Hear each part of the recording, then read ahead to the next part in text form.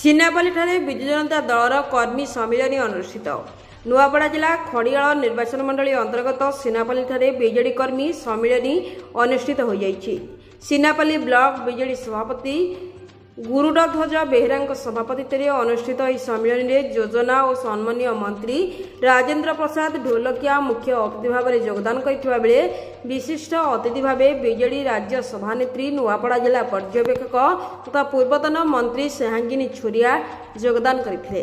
ମୁଖ୍ୟ ବକ୍ତା ଭାବରେ ନୂଆପଡ଼ା ବିଜେଡିର ସାଧାରଣ ସମ୍ପାଦକ ତଥା ଖଡ଼ିଆଳ ନିର୍ବାଚନ ମଣ୍ଡଳୀ ବିଧାୟକ ତଥା ଲମ୍ବୋଦର ନ୍ୟାଲ ଯୋଗଦାନ କରିଥିଲେ। ସମ୍ମାନିତ ଅତିଥି ଭାବରେ ଜିଲ୍ଲା ସଭାପତି Manoj Mishra W ODC member Mandakini Baghel ଜିଲ୍ଲା ପରିଷଦ ଅଧ୍ୟକ୍ଷା ଡଲି ମାଝୀ ଜିଲ୍ଲା ପରିଷଦ ସଦସ୍ୟ ପୁଷ୍ପାଞ୍ଜଳି ଗ୍ୱାଲ ଯଜ୍ଞାସେନୀ କଟା କୁନ୍ତୁଳା ମହାନନ୍ଦ ସୁରେଶ ମାଝୀ ଜିଲ୍ଲା ଛାତ୍ର ସଭାପତି ଅମିତ ସିଂ ଦେଓ ପ୍ରମୁଖ ସମେତ ବହୁ ସଂଖ୍ୟକ ବିଜେଡି କର୍ମକର୍ତ୍ତା ଉପସ୍ଥିତ ଥିଲେ।